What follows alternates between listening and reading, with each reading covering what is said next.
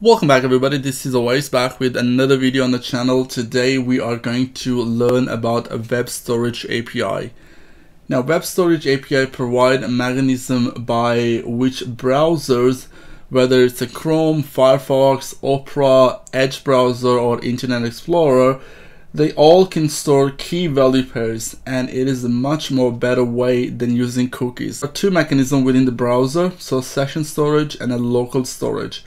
Session storage maintains a separate storage area for each given origin that available for duration of a paid session. So as long as your browser is open, uh, it will store the data. Local storage does the same thing, but persists even when the browser is closed.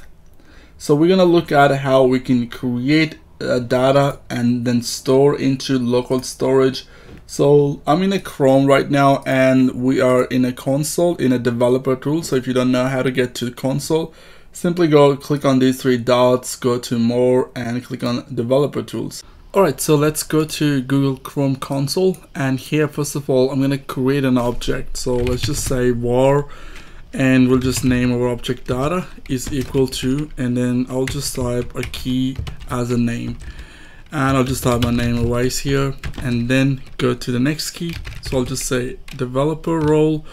So that would become a JavaScript object right? Now to store the data in a local storage or in a session storage you need to have a string. So you can only store a string into your local storage and your session storage. So for now our data is a JavaScript object. So we can check that by typing data and it gives you back this object right? So now let's say we want to store this to our local storage. So what we can do here we go var and I'm going to let's say create a stringify form of this JSON object. So we're gonna stringify it. So I'll just say store d is equal to and I'll type json dot stringify and here I'll grab that data object and then here I'll press enter. Now if I access store D and now this is an object but it's in a string form now so it's no more JavaScript object it's a JSON data now. So we can store that into our local storage. So let's go and store that into local storage. So I'll type local storage dot set item. And then here we'll type in a parentheses the name of our key. So the key would be let's just say data dot uh, sorry comma and then the object name. So we want to store store d into data as in a key. So I'll type enter and now we have this data key into our browser local storage. So we can verify that. So we go to application click on local storage and here we have a google.com.au so if I click on that, I have uh, different other keys as well, but here we have a key named data. So in that data, we have this data, so name, Awais, role, and developer, as you can see. Now I'm gonna close the browser and I come back and I show you a few other things. So I'm just gonna close the browser. We'll open up Chrome again. And here right now, we are still in google.com.au. So we go to our developer tools. I'm going to go to application and here we still have a data and we have the value for that in there, right? So one more thing I'm going to show you. So let's just say we are going to go to apple.com.au, right? So there's a different website now. So now once you get to the website apple.com.au, you see this local storage has been changed. So now we have this thing here. We don't really have an access to google.com.au local storage anymore. Alright, so that's basically works with your current web page. So whatever the current web page you have open, uh, its data which is stored in your local browser will show up here. Now if I go to console and I'll just clear this out and if I try to access the local storage data key, so I'll go local storage dot get item and here I'll type a name data and then press enter, it says it is null. But if I go back to google.com.au website and now if I go local storage dot get item and I'll type data key and press enter and there you go. It brings me back this storage. So if I go to application go to local storage and here we have this data key back. So it's stored in your browser but you need to make sure that you tell the browser where you are and where to get the data from. So this is a google.com.au website that will give you this data key. Now there's another few things we want to talk about here. So we know how to set data and we how we can retrieve data by using get item. Now if you want to remove the data from your local storage you can use this. So type local storage dot remove item and then in the parentheses type the key name press enter. And now if we go to applications and I'll go to google.com.au and I can see that there is no data key available.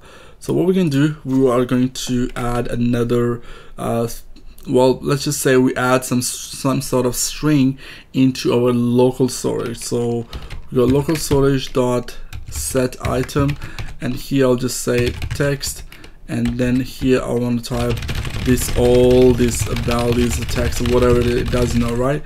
And then enter. Now if we want to go to check this out so we'll go to local storage dot get item and type test as a key name and which will give us back this read string what we just typed now we've seen the local storage how we can remove by using uh, by calling this method on local storage so remove item and a set item and a get item will get you the the value of the specific key. So you can store pretty much a lot of data. So if you're working with like a single page application and you want to store data like a json format then you can use this. This is really good and there's some advanced usages of this as well which we are going to talk about in a separate video later on.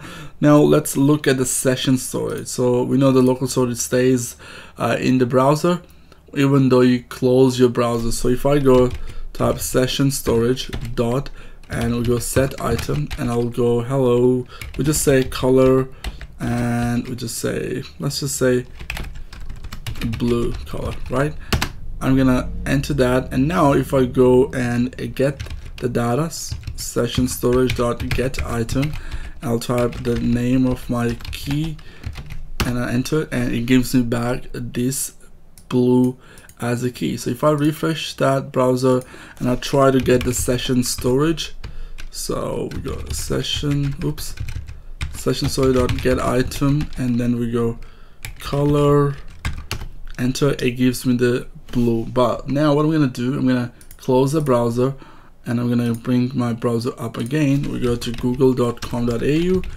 so and now if we go to developer tools and in the console I want to type session storage dot get item and we have the key of color. And it says it is null because it we closed the browser and we came back. So it actually removed that data on that key. But if I go local storage dot get item and I know there's a key data there so it's null but we have a uh, key text there. So let's check it out if it's still there. So get item test enter and there you go. We got the string back. So local storage stores that data even though you close the browser session storage is pretty cool. If you close the browser come back and that data is gone now you're probably thinking that this is really uh, doesn't make any sense a way to use the local storage and session storage then um, I'll have a project coming soon on JavaScript where I have used the local storage to store the data into the browser and retrieve it back. So that's going to be like a school management system I'm creating currently. So we'll use this local storage and session storage in that application. Alright guys, so make sure you subscribe and check it out the description for books uh, for the best book I reckon for JavaScript in Java. A lot of people have asked me and uh, yeah subscribe to the channel. Thanks for watching and I'll talk to you guys in the next one. Chase.